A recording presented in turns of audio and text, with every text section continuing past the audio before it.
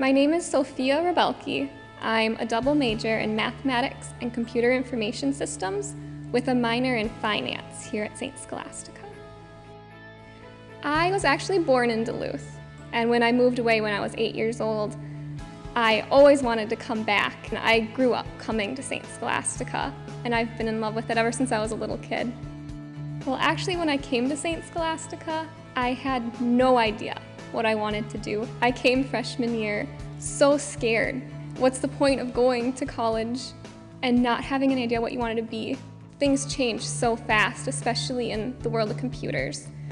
Nothing stays the same for long, and I love that about it. Being a math and computer major, if you get around 10 people in your class, it's a pretty good size, and the teachers here are amazing, and they can change their teaching styles to each student. I'm looking at going for grad school and then possibly a PhD.